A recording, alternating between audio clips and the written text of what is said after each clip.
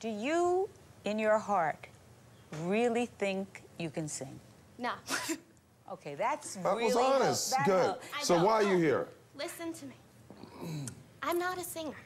Oh. Oh. Wow. We Couldn't agree. figure You're standing out. there shaking your head the Couldn't entire figure time I'm that out. melting. You are, Paula, you're looking at him and you're laughing at me. No, I'm looking at No, him. no, I'm laughing with So you came uh, because you wanted to be on Honey, TV. you were laughing. No, No. Why are you here? Why are you here?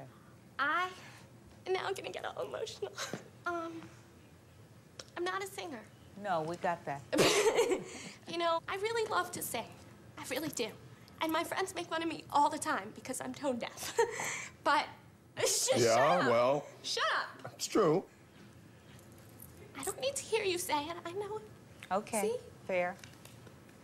Even if I don't sing, I can be the next American Idol. Why? And you want to know why? yeah, I love to know why. You want to know why? Yeah. Because I've never sung before. And so you can teach me how to sing. Huh? Yes. I think I practice. I practice with like music. I prac- I can't believe I'm crying this much. I think you don't have to sing to be an American Idol. I really don't. I think Paris Hilton can't really sing. I think that She's not an American Idol.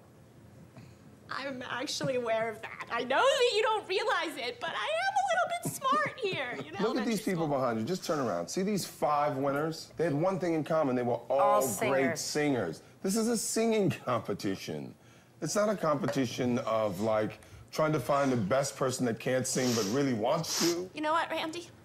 Yes, these people can sing. Yeah. Yes, they can. But I could be the only American Idol who has never sang before. Hey, I Look at can't this. sing I'm either. unique. Woo! Sarah, I don't think there's anything left to say. I think you actually said it all. You entered a singing competition and you don't sing. So what do you think we're gonna say? We have to move We on. We have to move on. Carol, yes or no? Well, no. Paula, yes or no? Sorry, sweetheart. It's a no. Sorry. And I'm sorry that you're upset. And you guys are gonna regret this. So you got what you wanted. You got some fame out of it. That's not what I wanted. Are you kidding? I wanted to be the next American Idol. Thanks, Sarah. Oh, wow. Mama, it's not the end, it's just the beginning. No, it's not the beginning. That's pretty obvious.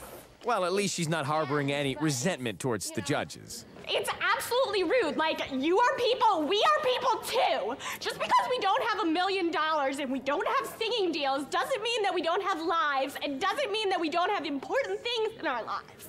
New York is weird today, man. It's a weird day today. I have become friends with these guys. I've become friends with Ray and Jen and Bill, the security guy, because I have been here forever.